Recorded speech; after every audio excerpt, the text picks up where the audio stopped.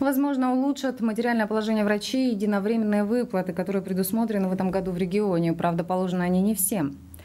По миллиону рублей получат медики, которые приедут работать в села и поселки городского типа. При этом у специалистов должно быть высшее образование и возраст младше 50 лет. Иркутской области на эти выплаты будет выделено 57 миллионов рублей. Такое распоряжение подписал премьер-министр России Дмитрий Медведев. Всего в рамках этой федеральной программы правительство выделит больше трех миллиардов рублей. Это позволит дополнительно трудоустроить в сельские поликлиники и больницы по всей стране около 5 тысяч врачей.